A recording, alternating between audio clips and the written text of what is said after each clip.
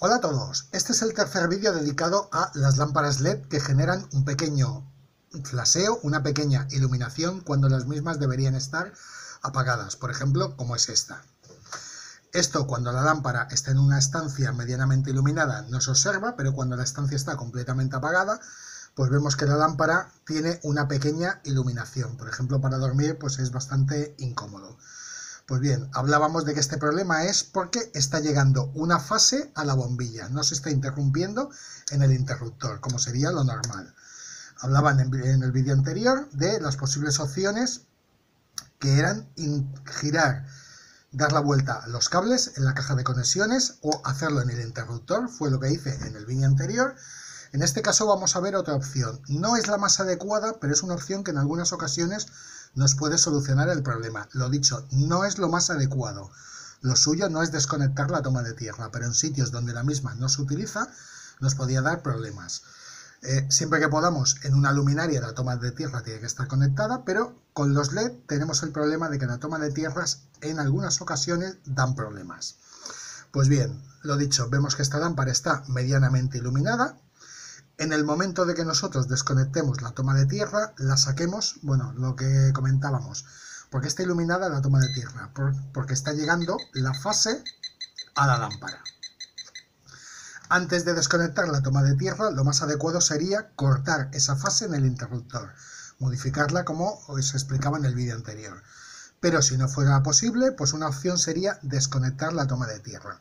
Si quitamos la misma, este pequeño flaseo, esta pequeña iluminación que se produce, en este caso la toma de tierra ni siquiera está conectada a la lámpara, solamente está pasada por el lateral, pues por inducción, por toma de tierra próxima, la lámpara se ilumina.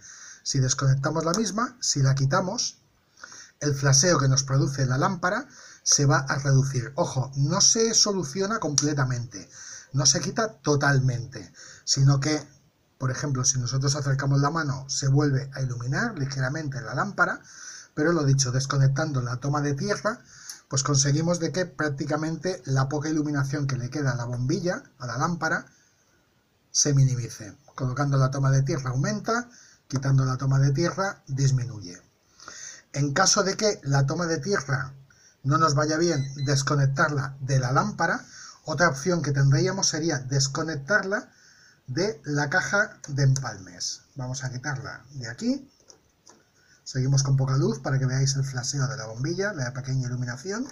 Pues lo dicho, si quitamos la toma de tierra de la caja de empalmes, también minimizaremos el problema de la lámpara. Lo dicho, no llega a solucionarse completamente, pero al menos pasa a un nivel de iluminación que eh, puede ser mucho más soportable, que puede ser mucho más llevadero y puede no influirnos. También influye el tipo de alimentador, la fuente de alimentación, el driver que tenga cada lámpara. Hay lámparas que tienen este problema, otras que no lo tienen.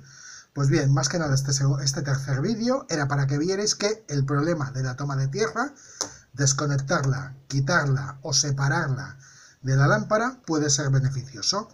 En un próximo vídeo veremos otra opción cuando no podemos modificar la toma de tierra, cuando no podemos modificar el interruptor y es añadiendo resistencia y condensadores en paralelo con la lámpara. Pues bien, espero que os sirva de ayuda esta segunda opción. Un saludo para todos.